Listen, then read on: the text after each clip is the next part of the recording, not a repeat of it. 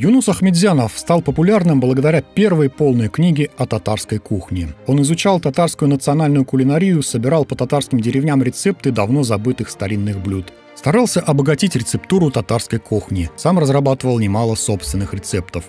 Неоднократно показывал искусство татарской кухни на выставке достижений народного хозяйства Советского Союза. Был награжден золотой медалью. Обслуживал Олимпиаду 80-го года в Москве. Представлял национальную кухню на Лейпцигской ярмарке в ГДР. С его именем связывали открывшийся в 1969 году Дом татарской кулинарии на улице Баумана в Казани.